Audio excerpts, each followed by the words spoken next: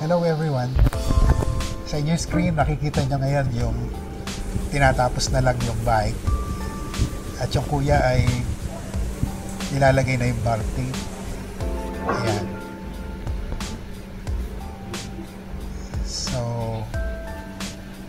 the place is called Celeste Cycle located in Bagong Bayan, Quezon City in Circulo Verde.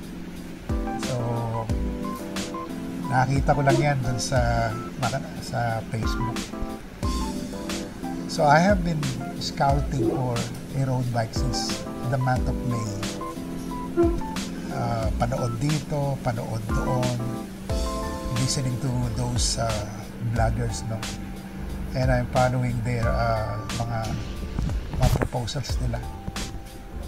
And one time I saw a Finnish bike, road bike, using a Filipino brand.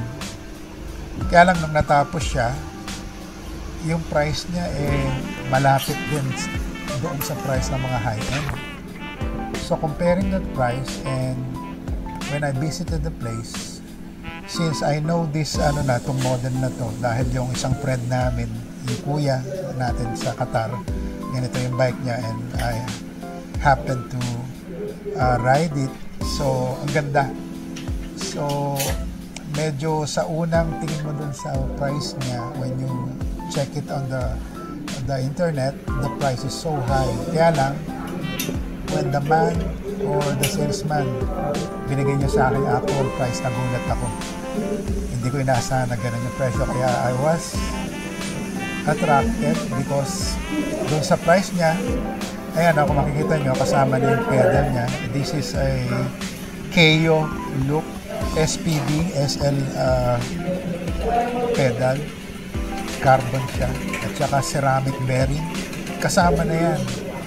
And adding to it, yan, nakikita niyo yung uh, uh, disc brake niya. Uh, this is Ultegra. So, all, uh, this, the group set all the way is Ultegra. Lahat, including the RD, yung FD. Kaya kinalas niya na. And this is the finished uh, product. Kaya makikita mo. This is the stem. At makikita mo yung tires niya, all road yan.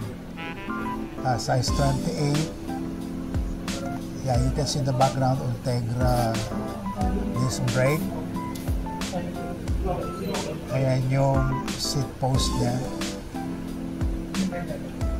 And when you slide going down, mamaya, ayan, you will find that the frame is size uh, 50. In the background, you will also see, ayan, Ultegra disc brake.